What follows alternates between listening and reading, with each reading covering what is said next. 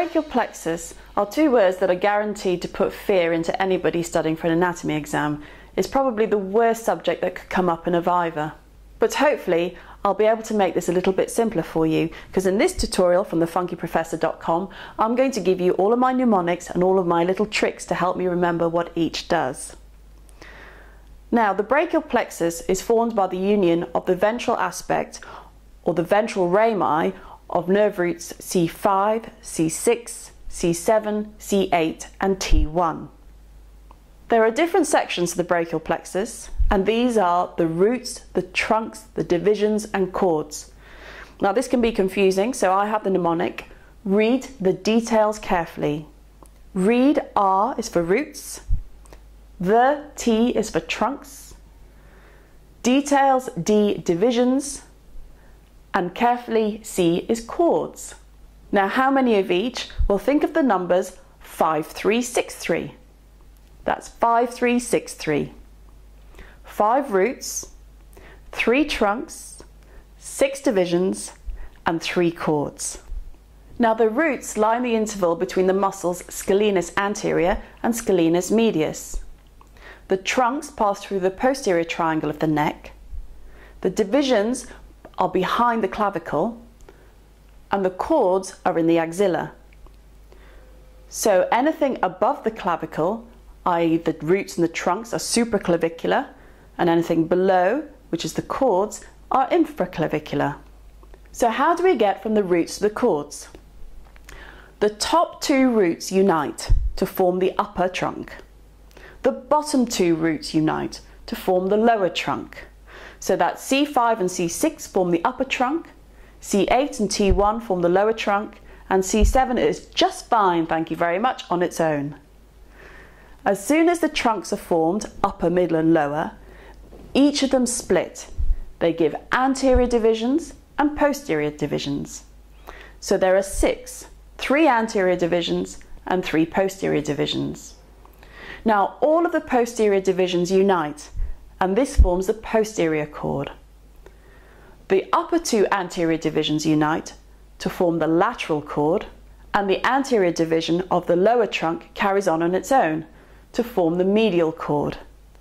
So that's how we get from roots to cords. The cords are so called lateral, posterior, and medial because of their relationship to the axillary artery which means to say the lateral cord lies lateral to the axillary artery, the posterior cord posterior to the axillary artery, and the medial cord medial to the axillary artery. The brachial plexus has a number of branches. There are three main branches that are given off at the root level. The first one is the dorsal scapular nerve, which is derived from C5. The dorsal scapular nerve supplies three muscles on the back of the trunk. These are the levator scapulae, rhomboid minor and rhomboid major. C5 also gives a contribution to the phrenic nerve. Now the phrenic nerve supplies the diaphragm. If you remember the mnemonic, C3, 4, 5 keeps the diaphragm alive. Well there you go, there's the contribution from C5. The third branch is the long thoracic nerve of Bell, which is C5, C6, C7. Now this nerve is named after Charles Bell, who was the first professor of anatomy at the Royal College of Surgeons of England. Now moving on to the trunks, the upper trunk is the only trunk that gives off branches. So it's the superior trunk, and I guess it probably is superior because it gives off branches. So the first of these branches is the suprascapular nerve. And this nerve supplies two of the four rotator cuff muscles, supraspinatus and infraspinatus. The other nerve that comes off the upper trunk is always forgotten, and this is the nerve to subclavius. The divisions of the brachial plexus don't have any branches at all, thank goodness. So now we're on to the cords. There are three cords, as you'll remember. Starting from top is the lateral, then the posterior and the medial. And they have three branches, five branches and five branches respectively, three, five, five. Now how to remember that order, lateral, posterior, medial? Well, I have another mnemonic. Love, playmate. Love, L is for lateral, Play, P is for posterior, and mate, M is for medial. Love playmate. The three branches of the lateral cord of the brachial plexus are the lateral pectoral nerve, the musculocutaneous nerve, and the contribution to the median nerve that comes from the lateral cord. So that's the lateral pectoral nerve, the musculocutaneous nerve, and the contribution from the lateral cord to the median nerve. There are five branches that come off the posterior cord. Now I have a mnemonic for this, which is STARS. That's S-T-A-R-S, STARS.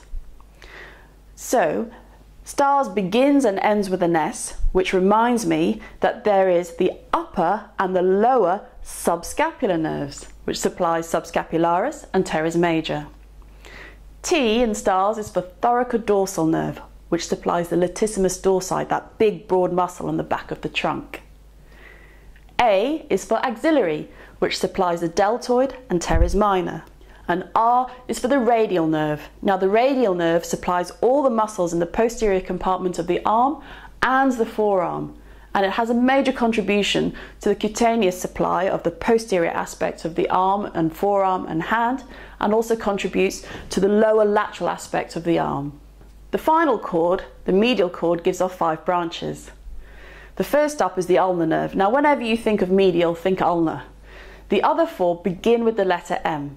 There is the medial cutaneous nerve of the arm, the medial cutaneous nerve of the forearm, the medial pectoral nerve, and the contribution from the medial cord to the median nerve. So there you have it. That is it. That is the entire brachial plexus. So to summarise, the brachial plexus arises from nerve roots level C5, C6, C7, C8 and T1. It has roots, trunks, divisions and cords. The upper two roots combine to form the upper trunk, the lower two roots combine to form the lower trunk, and C7 goes it alone in the middle to the middle trunk. Each of these trunks divide into anterior and posterior divisions, all the posterior divisions unite to form the posterior cord. The upper two anterior divisions combine to form the lateral cord, and the anterior division of the lower trunk continues as the medial cord. There are three nerves to remember from the roots. These are the contribution of C5 to the phrenic nerve, the dorsal scapular root from C5, and the long thoracic nerve of Bell. The trunks have two branches from the upper trunk this is the suprascapular nerve and the nerve to subclavius. The divisions, thank goodness, have no branches whatsoever. And then we have 355 from my mnemonic Love Playmate. The love for lateral has three branches, which are the lateral pectoral nerve, the musculocutaneous nerve, and the lateral contribution from the lateral cord to the median nerve. The next one, play, P for posterior, love playmate, remember, has five branches. The mnemonic here was stars. Begins with an S, ends with an S. So that's the upper and lower subscapular nerves, the thoracodorsal nerve, the axillary nerve, and the radial nerve. The medial cord, if you'll remember, also has five branches. The ulnar nerve, always think medial and ulnar together, and then the forearms. The medial cutaneous nerve of the arm, the medial cutaneous nerve of the forearm, the medial pectoral nerve, and also the medial contribution from the medial cord to the median nerve. So you see, once you break it down and look for associations, actually, I dare say it, the brachial plexus is not that bad.